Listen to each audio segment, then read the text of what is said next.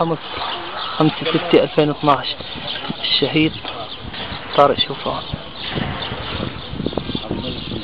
جورج شياح.